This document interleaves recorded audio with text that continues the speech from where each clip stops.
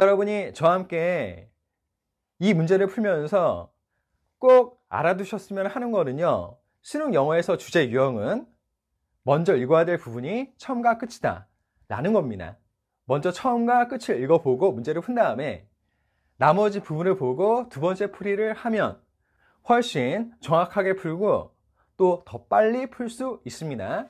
더 좋은 수업, 더 좋은 세상. 언어를 넘은 치유.